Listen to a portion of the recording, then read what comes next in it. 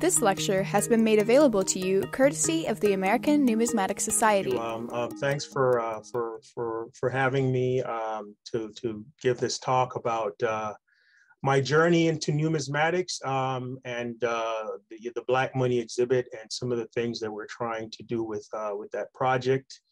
Um, I think the last time um, I, I visited the um, the ANS, I, I can't even remember. I I'm a New York. I still count myself as a New Yorker, even though I haven't um, lived there in, in, in, quite some time. But you know, still have family in the Bronx, and uh, you know, New York is still one of one of one of the places that I that I'm proud to call uh, home. What I would like to uh, achieve today is to uh, have a conversation about my journey into numismatics uh, as as uh, as as a hobby, but also as a as a as a profession. As I I research um, how we can use money as a historical source, and that's what I do in my day job as a as a professor uh, at uh, Georgia State University. Um, but I also want to use this opportunity to talk about uh, how I'm using, or my team is using, the Black Money exhibit um, to bring in um, non-traditional uh, collectors, if you will, into the hobby, into the field, um, etc. Um, and uh, I will talk about that image um, uh, in a, once I get through the slide, the uh, the image on the front cover. Uh, but again, I want to thank you for this opportunity for having me present. So I think let me start just by going, um, I'm gonna sort of go through a couple of these images on the screen. Um, and I wanna go back to my childhood in Jamaica where I was born. Um, I think I was probably about nine years old uh, or so, and I was playing underneath uh, someone's, uh, my neighbor's house, uh, my, my best friend's uh, house um, you know, they have like a, a, cellar, they call it a cellar. And I was playing um, under the cellar and I found this wallet. And this wallet had uh, some banknotes um, in it that I had uh, never seen before. Uh, and actually, I'm going to do a bit of show and tell today. Um, these are some of the uh, banknotes um, that um, you know, I, I found in that wallet. And, and this is a, uh, this is a sort of a packet that I, I, I got from the uh, Bank of Jamaica uh, when I went there a couple of years ago, uh, because I wanted to own the banknotes that really started me on this journey. Um, and so you can imagine an uh, eight, nine year old kid, you just found a, a, a wallet full of cash and you're so happy about it. Um, I ran to the first adult that I saw, and I think you you can probably guess uh, guess the, the, the rest of the story. I never saw that wallet again. Um, I was uh, so the the the uh, adult, you know, um, took it away from me. Um, I don't don't know what what eventually happened to it, but when uh, you know, like like like many people, uh, when when my family migrated to uh, the United States, particularly to the Bronx, I I I was fortunate that I moved into a neighborhood. Um, it's it's called Parkchester uh, in the Bronx, where um, every Saturday we had a, a, market, uh, a street market where um, different uh, numismatists came out and sold banknotes. And so I happened to be passing by one day and I saw this guy with a, with a table full of all these banknotes um, uh, and some coins, but mainly banknotes from all over the world. Um, and I was looking for the ones that I had uh, found in Jamaica and he didn't have them. Um, but uh, I was curious uh, about the, uh, the other currencies from all over the world. And so I started collecting these banknotes. Um, you know, whatever little money I worked, uh, I would, as soon as I got paid on a Friday, uh, you know, I, I, couldn't wait until Saturday morning to go out there and spend all my money on these banknotes um, from all over the world. And so uh, my collection of banknotes started there. Um, I think at some point, uh, I, I, I developed a particular interest in banknotes from Latin America uh, but nonetheless, I, I collected from all over. and of course, back then, um, this is in the early 90s, we didn't have the internet as it as, as it is now. And so I did a lot of research, going to the, the public library, looking up some of the individuals, some of the the the, the stories, uh, the historical sites that I had seen on these banknotes, and I started essentially writing uh, a book about some of the patterns that I saw and, and things of that nature. Um, um, in addition to that, I, I started presenting information about uh, these uh, banknotes at local libraries. Uh, when I started college, I, you know, I, I got, um, I used to give talks um, on uh, certain individuals on, on banknotes um, and things of that nature. Um, and sort of to fast forward, um, I went to um, the UK and, and did my PhD at the London School of Economics. And I, I did my PhD in the uh, International History Department. Um, and my research was centered on uh, the connections between, um, well, my initial research was, was centered on the connections between money and colonialism uh, in British West Africa and my case study was to look at the Gold Coast, which uh, which is also or which became Ghana. Um, and then uh, eventually, when I did my uh, when I worked on my dissertation, I I, I looked at um, how Ghana's first uh, president, uh, Dr. Kwame Nkrumah, used money as a way of expressing uh, national identity and to build a new nation state, which I'll talk about later in the talk. During my time in the UK, I was also a, um, a research assistant in the coins and medals department at the British Museum, uh, where uh, among many other things, uh, we worked on the Money in Africa project, uh, which led to the publication of this book uh, on my left. Um, in addition to that, I'm also a member of uh, the uh, International Banknote Society, in addition to other uh, numismatic organizations.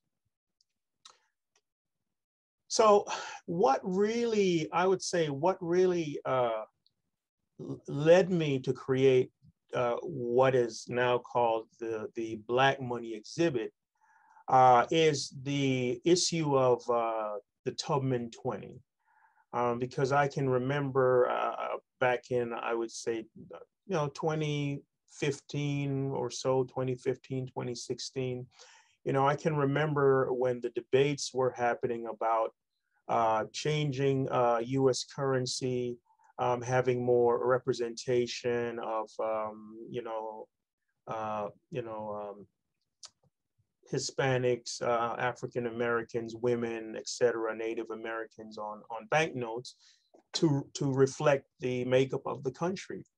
And during all these debates, uh, you know, I said, you know, there are women on currencies in many other countries. And so uh, what the first thing I did was I said, I, I, I let me let me uh, put some of my research out there. And so I authored this article, which is on my left, which is which is called uh, "Who Was the First Woman Depicted on American Currency." Uh, and what I did with that article, uh, and by the way, this was published in the in uh, the conversation and then carried by a variety of other sources. Um, what I did in that article was that I, I, I tried to survey American history and look at uh, uh, paper currency, um, including the currencies issued by the uh, Confederate States of America, and came up with an idea as to who was most likely the first real and not allegorical woman depicted on American bank uh, American banknotes, uh, and I'm talking in the continental United States. Um, and within the context of that article, I also uh, spoke about uh, the Harriet Tubman um, 20. So that's what really got me started. And then I went on to saying that I wanted to organize an exhibition, uh, a traveling exhibition of my banknotes to basically tell a narrative about um, um, the depiction of Africans, African Americans, people of African descent, Black people on, on banknotes, um, which led me to creating the Black Money exhibit. Um, and the Black Money exhibit was uh, first uh, exhibited at the Auburn Avenue Research Library on African American culture and history in, in Atlanta. And so uh, I, I want to just talk about a couple of things that I that I did with the with the um, with the exhibition. The first thing was that we we came up with the with the with the concept of displaying these banknotes on uh, what we call money trees. And as you can see uh, with these photographs in the background, these are eight eight foot high by eight foot um, wide trees that were inspired by the baobab tree, uh, otherwise known as the tree of life uh, uh, in, in, in, many parts of Africa. And we were playing with the idea of, you know, money doesn't grow on trees, but for the Black Money exhibit, money does grow on trees, right? Um, so that was the first uh, idea that we came came up with. And so the next step was, well, what categories should I be representing with respect to the themes that we want to um, bring to the public? Um, and there are so many themes. I, I in my own research, um, and, and by the way, th th this, this is not specific to money depicting people of African descent. This, this is money, um, uh, paper money in general. I identified over 40 different themes that one could possibly talk about. Um, but I, you know, I, I, I, whittled it down to about to, to the, these 10 themes. And the idea was that, you know, when, uh, as, as a professor of, of history and particularly African American, African Black history, whichever term you want to use, usually we go through these, um, these, these themes, um, uh, and topics uh, such as, you know, we begin with African civilizations by talking about some of the major civilizations um, on, on the continent of Africa, in all parts of Africa. Uh, and then we go through the development of African art um, and things of that nature. Um, and then some of the other major um, episodes, if you will, in, in, in in, uh, in African, African American Black history, such as the transatlantic slave trade and resistance against slavery, colonialism, independence, uh, et cetera, et cetera. So the 10 themes that you see there, uh, the way how we represent that is we have 10 different money trees and I have selected uh, banknotes that are then um, displayed to, to, dis to discuss these themes. Uh, uh, and during the inaugural, inaugural showing of the Black Money exhibit, it was very well received.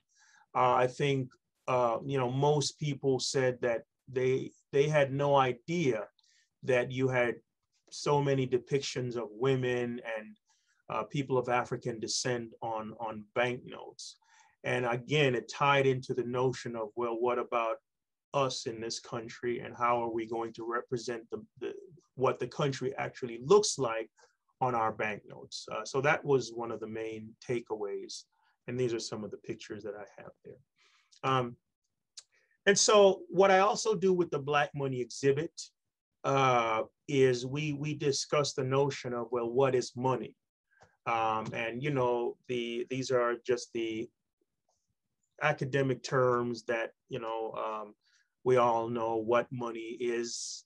Uh, but what we try to do with the Black Money exhibit, in addition to having discussions in the galleries about uh, what is money, we talk specifically about, well, let's take a look at Africa um, and, and look at some of the, the, the, the, the, the forms of monies that were used before the introduction of, of modern uh, currencies, i.e. banknotes and coins. Uh, and so when one goes into the Black Money exhibit, we have an exhibition uh, with uh, with examples of some of these forms of currencies, cowrie shells, for example, or uh, you know met, met, metallic currencies like uh, Katanga crosses or Manillas um, uh, and things of that nature. Um, so we we try to uh, we try to um, you know have the public think about how Africans used uh, currency and what what what did that currency look like before uh, the you know before the colonial era. Now, of course, you know these um, um, these these um, currencies are not unique to Africa in this sense, of course, you know Native Americans and and and certainly people all over the world before the advent of uh, modern banknotes and coins have used a variety of different kinds of um, commodity uh, currencies. Um, so going with, uh, with that um, part of the exhibition, what we then try to do is say, well, let's look at some examples of how uh, Africa uh, or in Africa, how you know they use this money uh, to express wealth and power. Uh, and by the way, just let me say that. Um, uh, so why am I talking about Africa? Well, of course, um, you know, African American history or African diasporic history, of course, did not begin in the United States, right? Uh, or in, you know, the, the Americas, right? So in the academic profession, we, again, we go back to, uh, I guess, the roots, if you will, and, and, and, and talk about those connections, uh, historical connections, cultural connections, etc. Uh, and so what we do in the exhibition is we try to find examples of uh, real individuals um, uh, that, that, that, that demonstrate the use of these types of currency. So on my left uh, is Emperor, Emperor Mansa Musa, who was the emperor of Mali in the 14th century. And he has been in the in recent years been um, recognized as the wealthiest human being that has ever lived. Now, um, you know, there are others who would put him at number two or number three, but certainly in many sources, um, they, they estimate that the wealth that he had, if you, if you calculated it in today's wealth, he would have at least $400 billion um, because he, of course, controlled uh, the gold um, routes um, in, in, in, in West and, and North Africa, which also fed into, into the European gold market as well. Um, and then on my right is one of the former kings of the Asante or the Ashanti uh, Empire in West Africa, mainly concentrated in, in Ghana and uh, the Cote d'Ivoire and it shows um, how, of course, he's adorned with, with gold, which is a sign of his wealth and power and status as well. Um, of course, uh, with the exhibition, we go into a lot more details with historical documents, historical photographs, video footage, speakers to sort of um, add more content to, to, to, to this.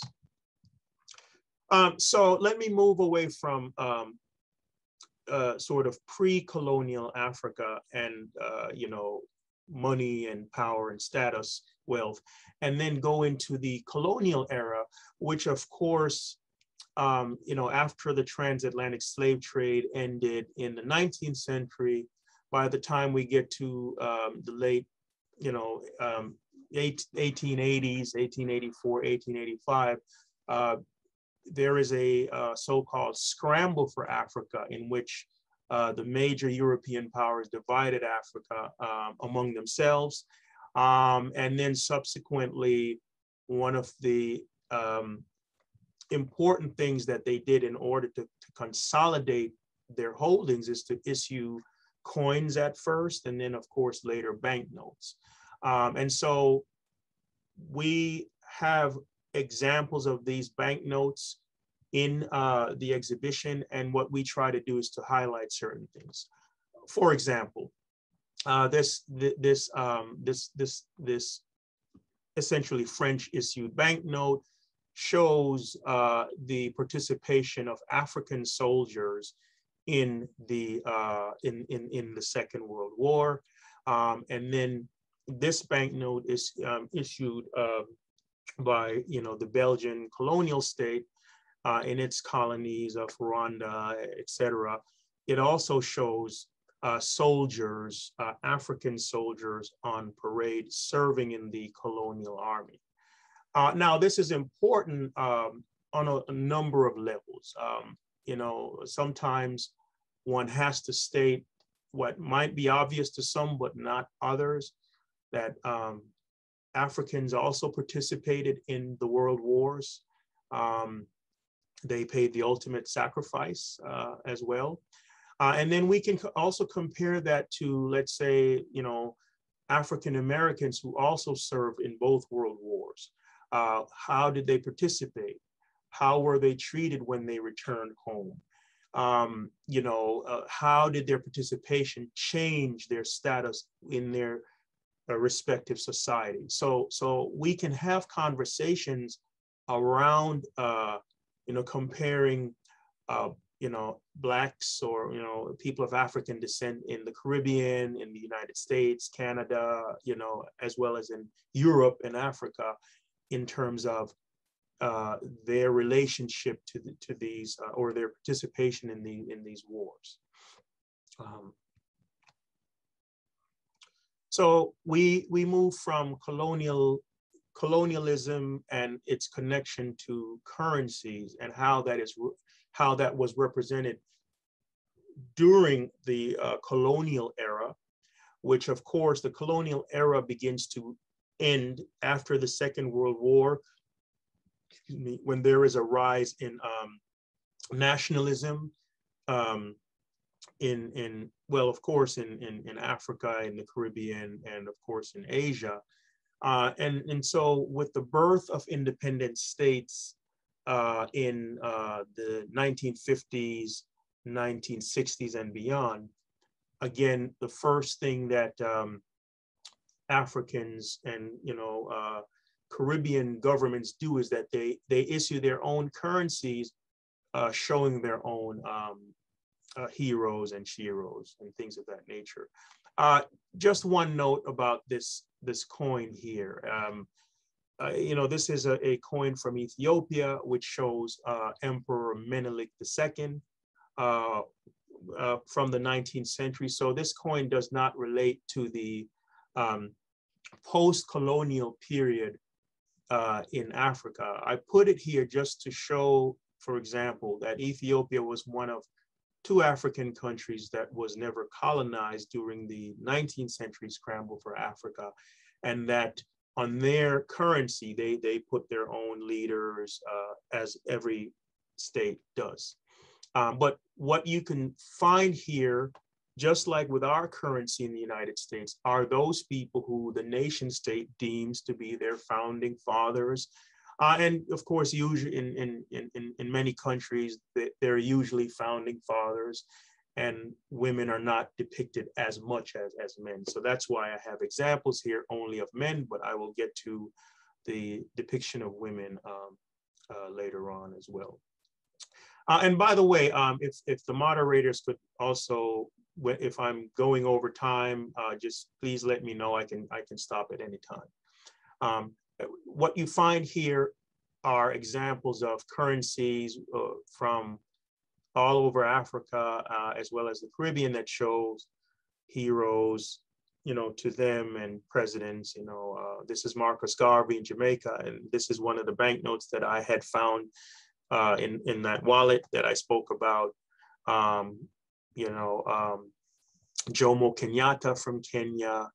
Uh, you know, a variety of, of, of Julius Nyerere from Tanzania, etc. And of course, um, I, I included Nelson Mandela, of course. Um, you know, South Africa was an independent country, uh, of course, when Mandela became president, but one could argue that South Africa became truly independent when they had uh, universal franchise and when Black South Africans were uh, able to participate fully in the democracy. Um, let me uh, just talk a little bit about um, one area which uh, which I which I have studied a lot, and this is the example of uh, Dr. Kwame Nkrumah um, in the Gold Coast, which was renamed Ghana.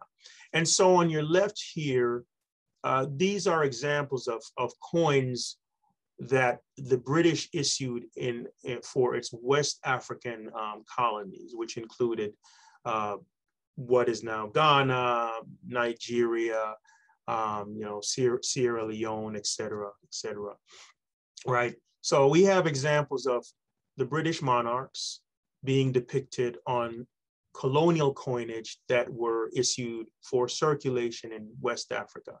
And this one on the bottom is an example of a British, a British banknote that was issued for Britain's East African colonies, of course, showing uh, Queen Elizabeth II.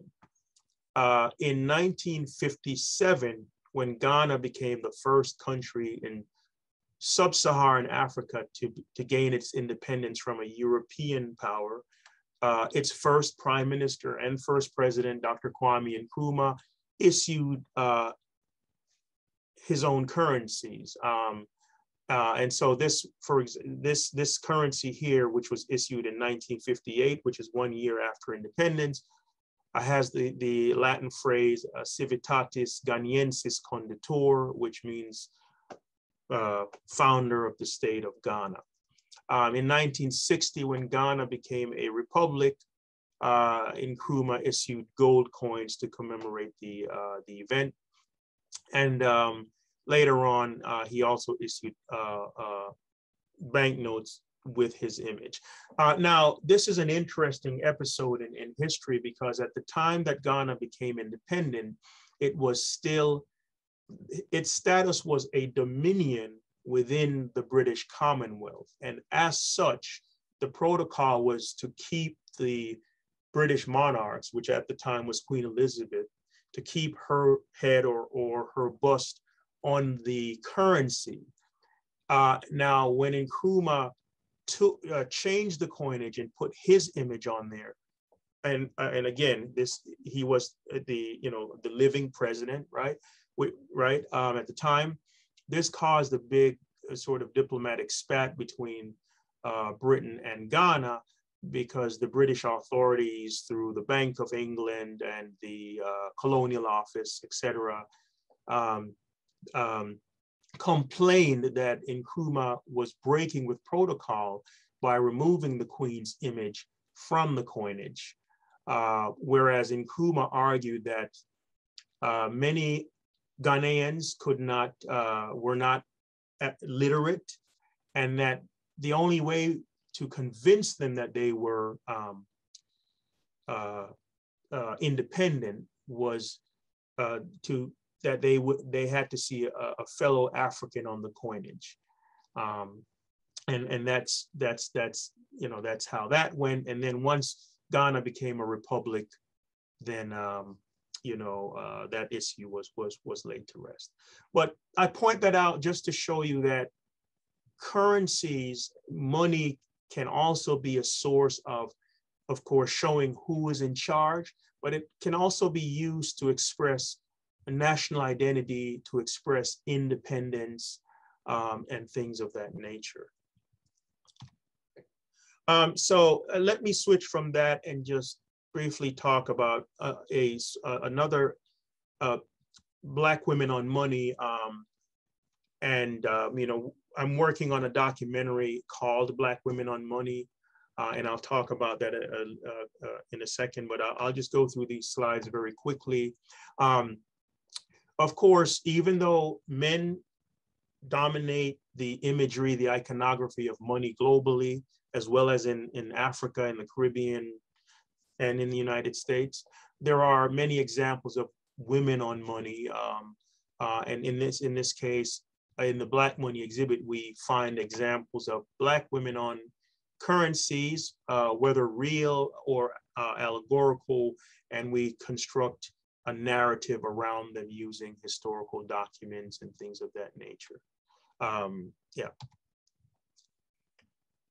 Uh, you know, uh, this this this banknote, which is from Guinea-Bissau, is an interesting banknote which we have in the exhibition uh, because it's the only banknote from Africa that I can find that that that tackles the issue of slavery head on. So you see that this banknote here uh, depicts uh, uh, the uh, capture of Africans, including women, um, and then you see the, they're being marched to the coast and then being put on boats, which will then ferry them to the ships, which will take them to the Americas. So a banknote like this is, is, is, is a means that we use to, to connect African, African, European, and American history, and certainly within that African American and also Caribbean uh, and Latin American history, because the connection is, in this case, through the transatlantic slave trade.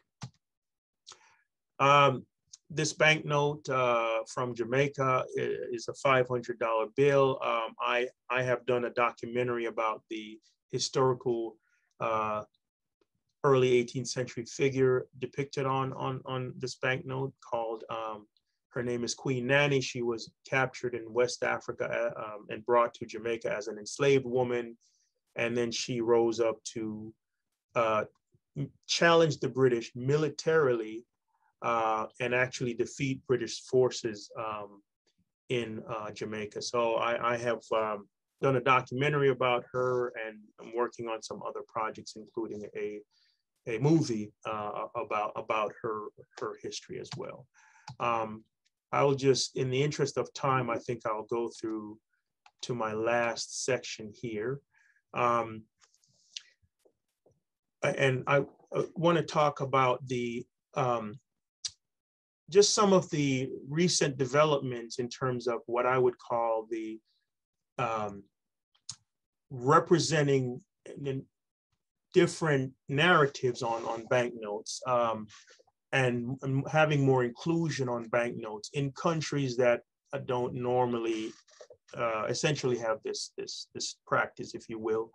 Um, so this is a banknote from Canada, um, which depicts um, uh, Viola Desmond, who um, is often described as the Rosa Parks of Canada. Uh, in, in the 1940s, after the Second World War, she was going to a movie theater in Halifax, and uh, she was she sat in a section that was informally considered to be a white-only section. Uh, she sat there and ultimately was arrested um, and her court case sort of sparked the modern uh, racial equality or civil rights movement in Canada. Um, and uh, in 2018, uh, she was placed on this, this $10 uh, uh, Canadian banknote, which by the way, won the IBNS's uh, Banknote of the Year um, award. Um, and so we, we were fortunate enough to when the Black Money exhibit was launched in 2018, we were fortunate enough to have this banknote in the collection. Uh, this is an image of Viola Desmond's living sister who was holding up the banknote. Um, and um, this uh, is the former uh, Canadian Consul General uh, to Atlanta, uh, Nadia Theodore, who co-sponsored the Black Money exhibit and provided us with, with resources to construct and present a narrative about, um, uh, you know, um, Viola Desmond here. So um, I will end just by uh, talking uh, briefly about the representation of African Americans on banknotes.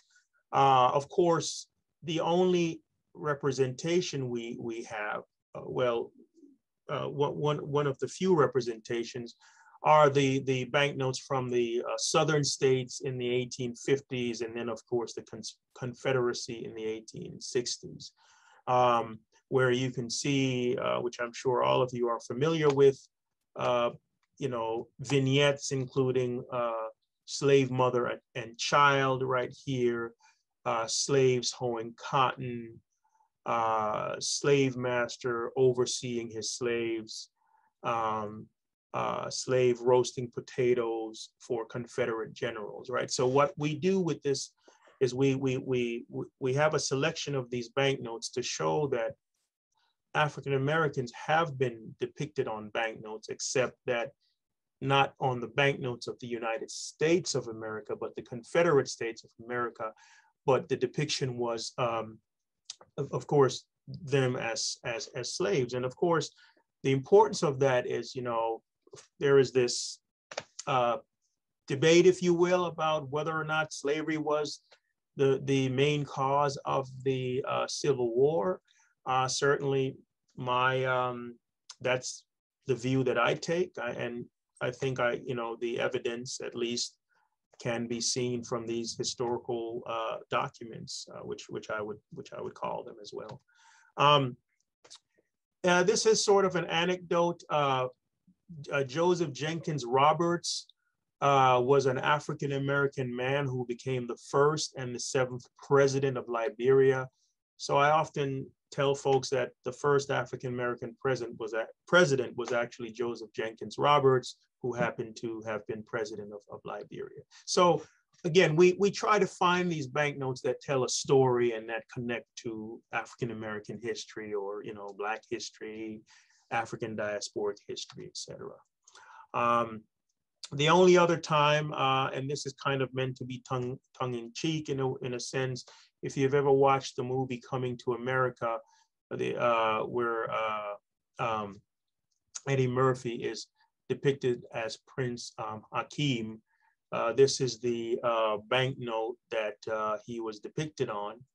And so, you know, I think when we discuss these things at the Black Money exhibit, you know, people say, uh, you know, it is about time for American currencies to reflect the makeup of the country, whether it's through a figure like Harriet Tubman or other figures uh, but that it actually something that strengthens the union and not weakens it. You know, diversity is always a plus. Um, and I think with that, I will I will end with this slide. Um, this is a slide of the uh, Black Money exhibit and specifically the documentary that we're doing, which will feature these five women uh, that have already been depicted on banknotes but the documentary will also include a discussion about uh, the continuing uh, movement, if you will, to get Harriet Tubman on the $20 bill. So at this point, I will stop sharing and um, again, sincerely thank all of you for your time um, and uh, attention. And um, I'd be happy to have a discussion and take questions. Thank you.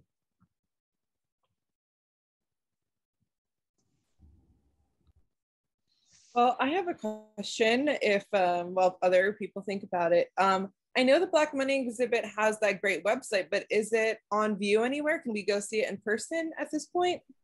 Uh, so that's a great question. Uh, it actually exists in my basement. So if you go through that door, you open that door, you make a right. It's it's stored in my basement for a variety of reasons. You know, these things uh, to mount an exhibition takes a, a lot of cash. And so over the past two years, we've been, uh, we have been redesigning the exhibition for travel. We have been doing the research to, to, to contextualize the banknotes. Um, and uh, of course, uh, this thing called COVID hits, uh, hit, and you know, so um, we were fortunate to, to, to just have received a uh, $50,000 grant from the um, Whiting uh, Foundation, and we're using that those funds in addition to a, a, a Newman uh, Fellowship uh, for 5,000 that we're going to be using uh, to construct the physical exhibition um, so that it can then travel across the country uh, hopefully uh, early next year. So that's the goal, and we continue to fundraise for the exhibition to, to get it out there. Cool. Congrats on that loan. That's great. Um, anyone have questions? Uh, I have a question. Um, So I'm personally really fascinated with, uh, you know, quote unquote, uh, non-traditional forms of money. Uh, so kuba cloths, you know, the the Katanga crosses you mentioned, manilla bracelets, etc. The term that's sort of used or has been used for a long time is, you know, odd and curious money or non-traditional money, which, you know, sort of in a worst case scenario is pejorative, but even in a best case scenario, sort of puts that kind of the money uh, on a sort of second tier compared to sort of you know traditional uh, round money and paper money. Have you uh, considered all sort of a, a term, a sort of better all-encompassing term for that kind of money that's not uh, you know sort of pejorative like odd and curious? Mm-hmm. Yeah, I mean, uh, and thanks for that question. Um, I, I, don't personally use odd and curious. Um, and, you know, as with any terminology, uh, I think one can always make an argument for or against it. But certainly uh, the notion of um, traditional currencies uh, being used, if we're talking, let's say, about in Africa or even with Native Americans, you know, tradition and traditional, of course, has certain connotations, right, which can be cultural inferiority or you know their system is not as sophisticated as those countries that produce modern banknotes and coins. And certainly looking at the historical um, record uh, one would find that this is how uh, african systems of wealth African systems of, um, um, you know, um, commerce have, quite frankly, too often been described as primitive or not, you know, up to par because they've used traditional forms of currencies. Um, but then the narrative or, or the, the mainstream narrative would go that with the introduction of colonial currencies, um, then Africans were sort of brought up to speed. But of course, the introduction of colonial currencies also meant that Afri- the ways in which Africans stored their wealth was demonetized, and that made many people poorer. Um, we can use the case of cowrie shells, for example. When uh, cowrie shells were demonetized, if you were if you had your wealth with you had all this cowrie shells and you can buy whatever and you had a certain status.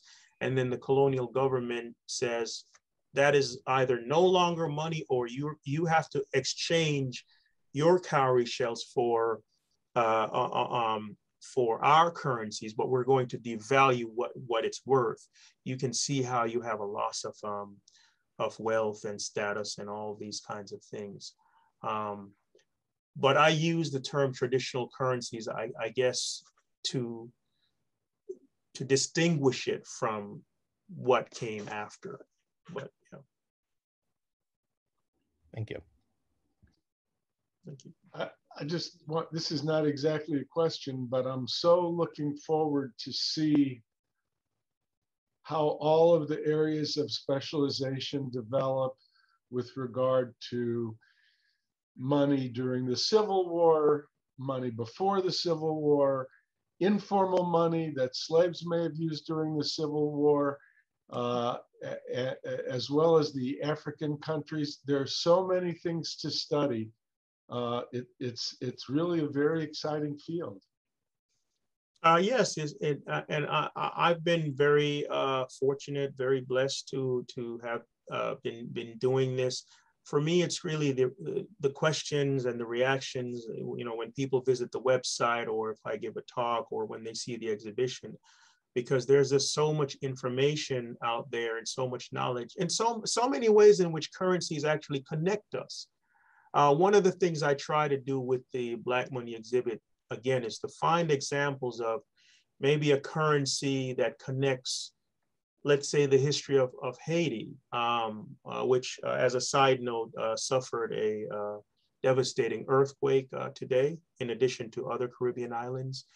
Uh, but, um, you know, a, a Haitian soldier who fought in the War of 1812, defending the United States, there are all of these connections or, or, you know, that we can find to bring, to bring all these seemingly disparate uh, histories together. I, I also just want to say that as you were talking, I had great flashbacks to my dad giving similar talks in the 1950s. Okay, cool. Except all the black people were Jewish. and it was the Jewish people on the coins and the Jewish people who were pictured on the stamps and who were pictured on the money. And it's very interesting to see the parallels. Thank you very much. What happened to that research? Did you ever publish that? Um, uh, no, but it's it's around. You know, I mean, other people have worked on it. Mm-hmm. My dad was really a hobbyist, but there are there are there are a lot of things. I well, you and I will be in touch. All right, thanks, thanks. I, would like to um, ask a question. Can you hear me? Uh, yes, I can. Yeah. Okay. Never know whether this thing works. Yeah. I'm coming back a little bit to the question with John about that. you know, the different forms of money we have, in particular in Africa, and the cowrie shells is sort of interesting. You have this in China as well, right? You have cowrie shells, and then there is this development. And considering how incredibly wealthy Africa is and here i'm looking in particular at my own area antiquity um, where there's a lot of research now in place how there is african money where the only places where you have coinage is and quite early on is a sort of you know the northern coast effectively.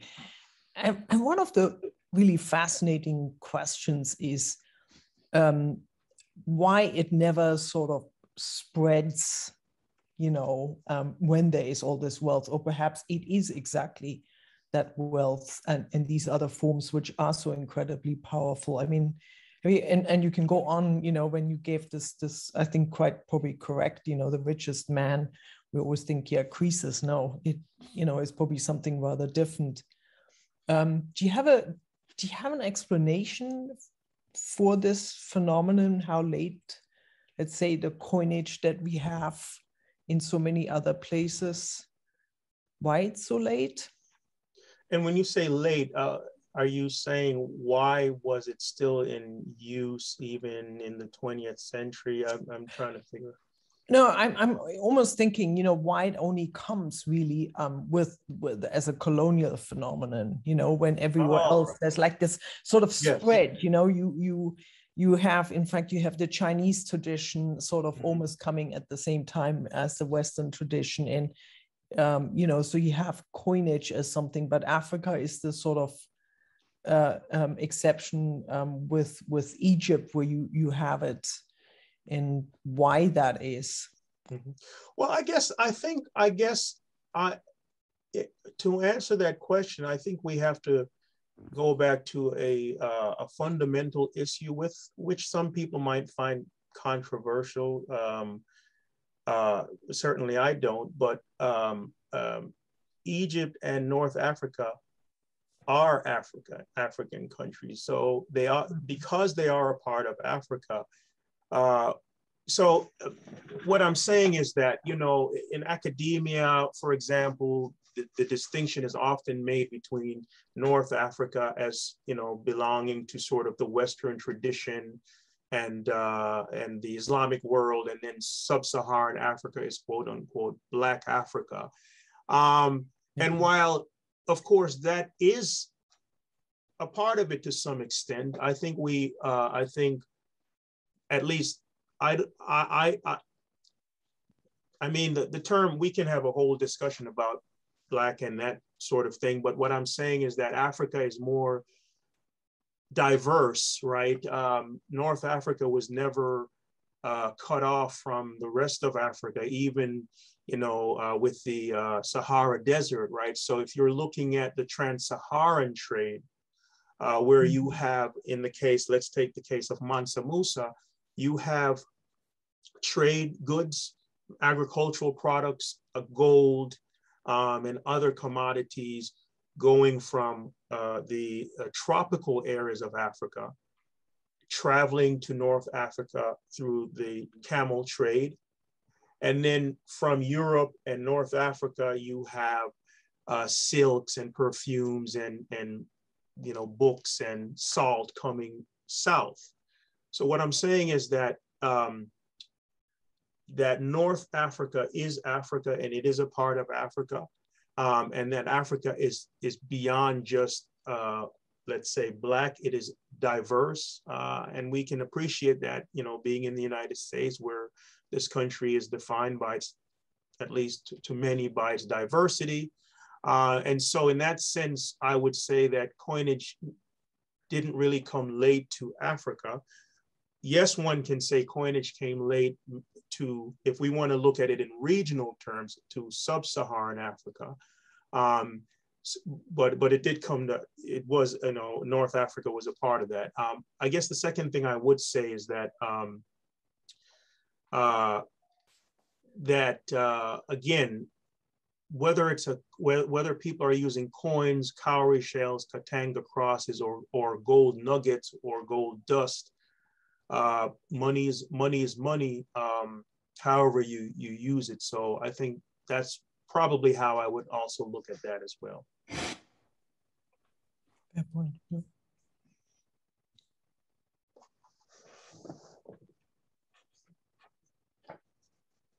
Uh, if I if I may, I know someone uh, George uh, George uh, Cuhaj said that the Newark Museum in New Jersey had an exhibit space dedicated to Blacks on coins and paper money.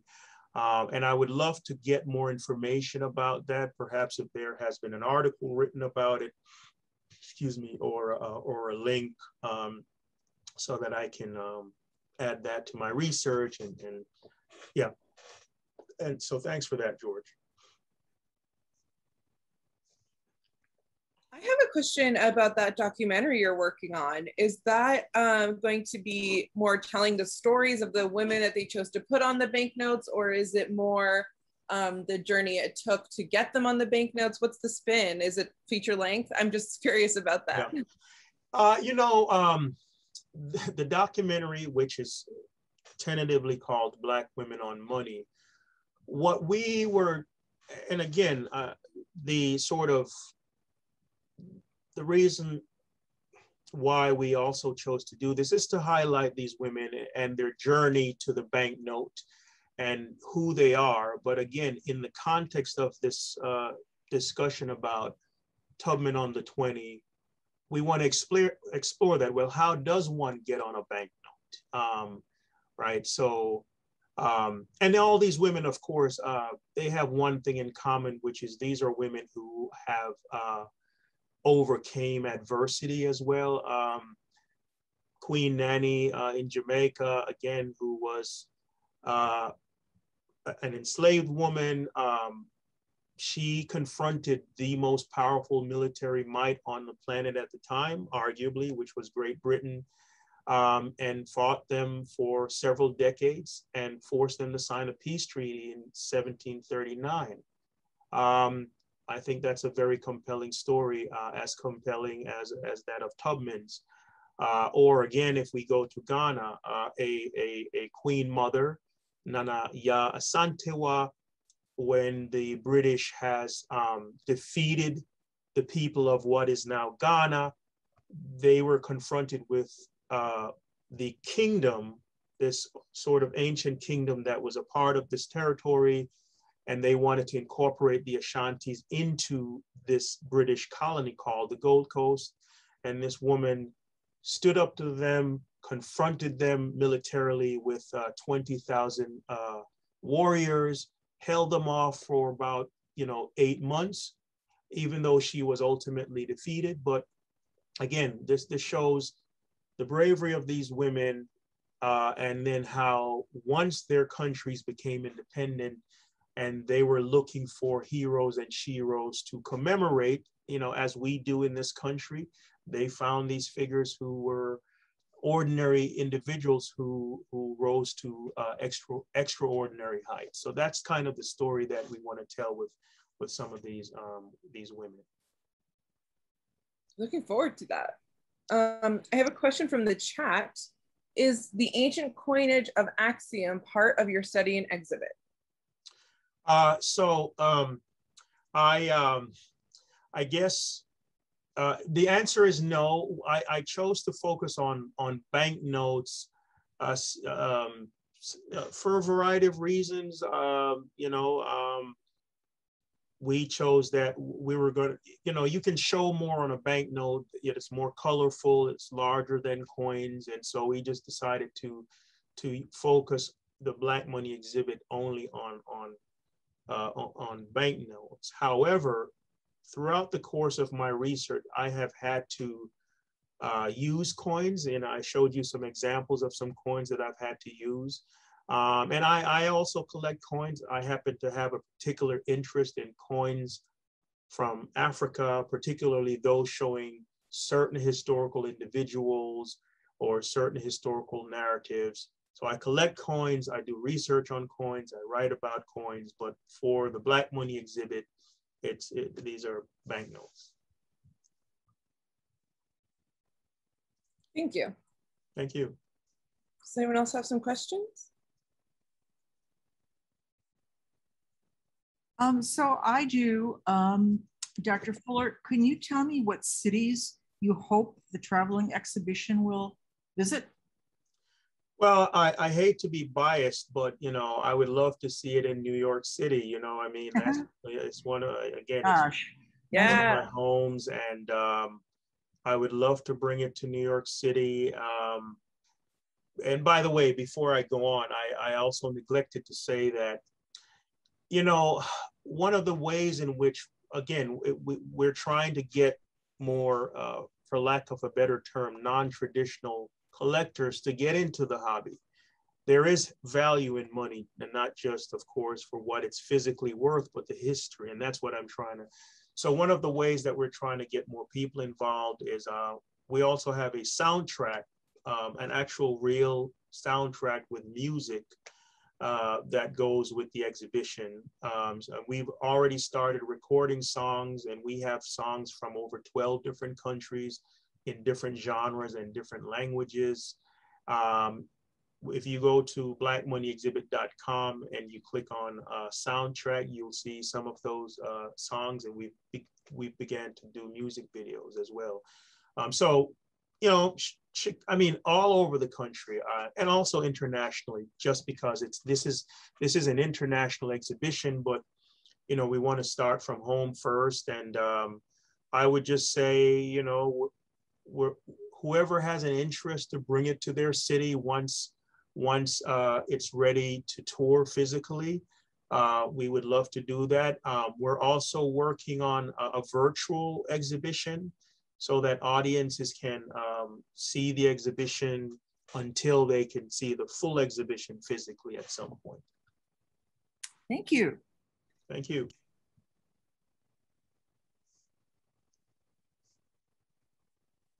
Well, we're one minute from the hour. If anyone has any last questions.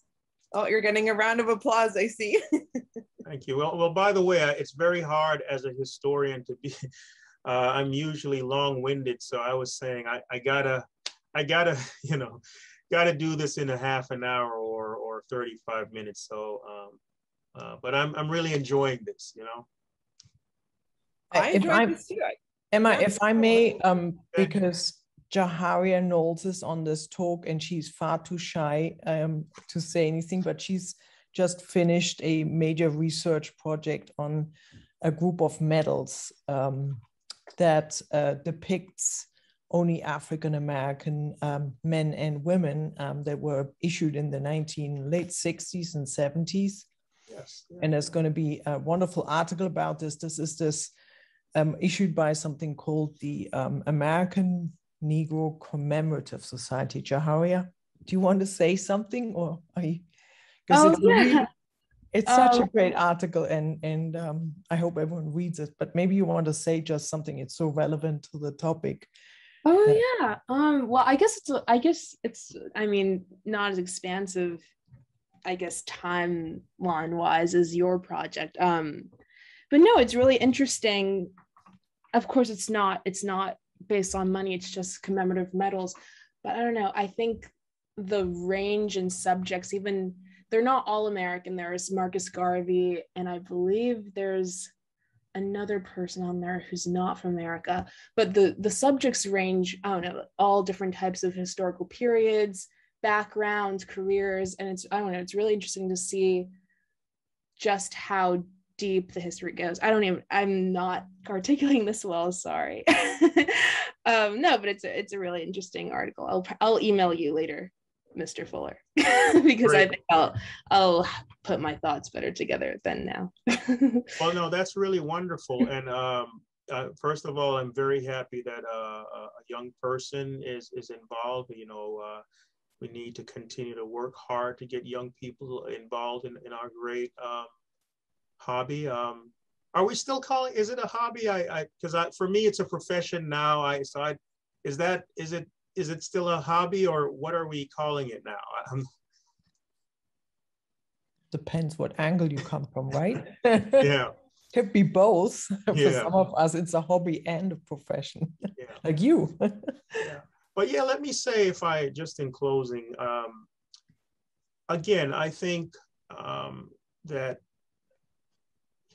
you know, inclusion again is always great. It's great to see uh, other people looking at uh, different people that have been depicted, whether on, on coins, banknotes, uh, medals, because we all grow from it. We all learn more, um, and um, you know, I'm, I'm, very excited to to to you know be in the company of, of doing that. I guess my final thing is a question uh, for Don Squires. Uh, you know, I have to ask you what coin that is, and if, um, uh, if you could tell us something about that, because um, I'm, I'm very curious. That is a um, Byzantine gold coin called uh, solidus or a nomisma in Greek, and it's of the uh, Emperor Constantine the Seventh when he was the sole emperor. Um, in the uh, uh, 10th century. Um, he was a, a, learned man and an historian. Um, that's just a, I, I collect Byzantine coins. That's really, really great. Um, I'm so happy. Uh, who, who can't love this hobby? I mean, it's just, there's so much information in, in, uh, in, on these small pieces of metal or paper. Um, but again, I, I really, I, I, really enjoyed this, uh, and I want to thank the ANS uh, for uh, inviting me to, um, to be with you on this Saturday. Thank you for giving us your Saturday. Thanks again. yeah, thank you so much. All right, thanks. And if anyone wants to get in touch, um, you know, um, I think my email is there and uh, I'd be happy to continue this. And next time I'm in New York, hopefully, you know, we're over COVID and I can come visit. Thank you for watching the American Numismatic Society's YouTube channel. Don't forget to subscribe. And if you like our online resources, publication, and events, you can support the Society by becoming a member. And don't forget to check out our book and eBay stores. The links are below.